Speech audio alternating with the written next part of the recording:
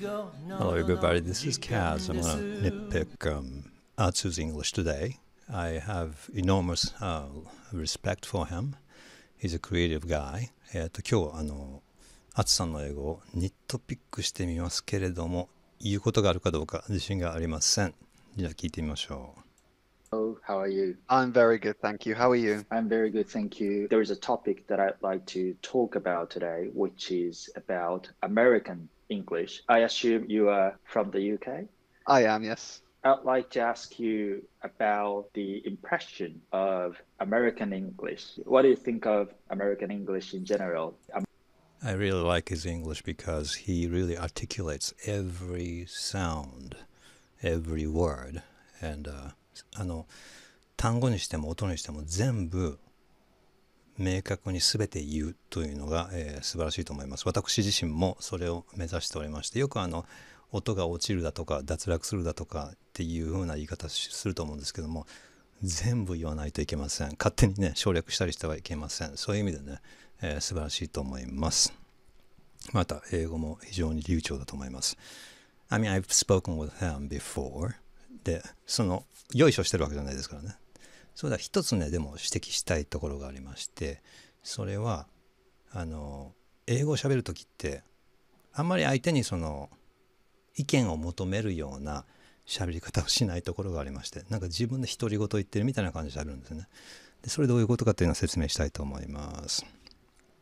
Hello. hello, how are you? I'm very good, thank you. How are you? I'm very good, thank you. There is a topic that I'd like to talk about today, which is about American English. I assume which is about American English とこう顔が相手にこう相手とコミュニケーション、ね、するようなねおもてなしの精神なんですけど結構外国人の人ってなんかこうそういうのがないっていうかね目が死んでるっていうかね I, I saw a TV program where an American person and a Brit were having a chat, like talking about a difference between American and British English, and they said that like one of the difference is direct or indirect. When they wanna try something on, like when you I feel like he's trying to communicate with his face, uh, like this. Um, you know, they were talking like this, and usually, uh, um, あの外国人の人って結構なんか 死んだ目で喋るっていうかね、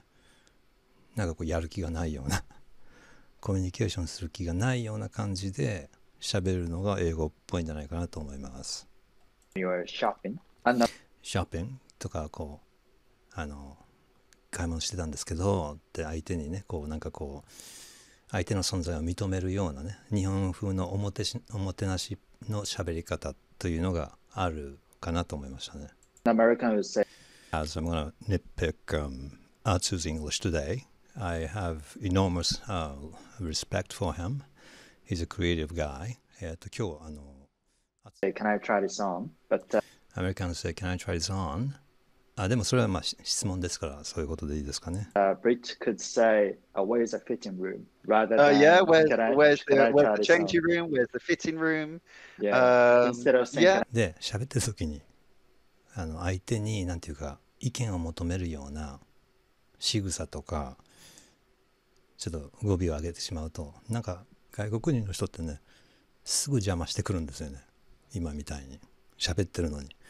だから when you speak English、um, I think you should、try to、um, なんか独り言言ってるみたいな感じであのやるといいんじゃないかなと僕は思っています、えー特に Yeah. um, Instead of saying, yeah. "Can I just try this on?" Yeah, so um, uh, one reason for that uh, would would be again the One reason for that would be again これ日本人が言った One reason for that、uh, level of history. Simply be- level of history level of history って言うと思うんですね level of history 歴史なんですけどみたいなねそうすると相手に聞いてる感じでで聞いてる方が なんか頼られてるという気になると思うんですけど、すぐ邪魔してくるんですよね。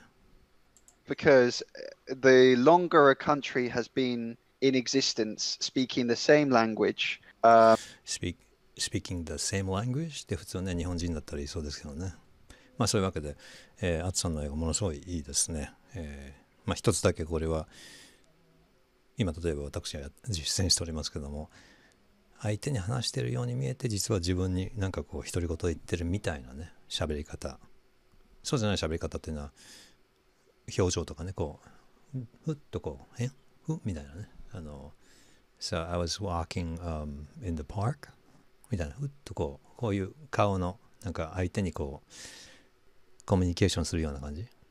とかっていうのは結構英語でないなっていう気がしますね。はい、以上でした。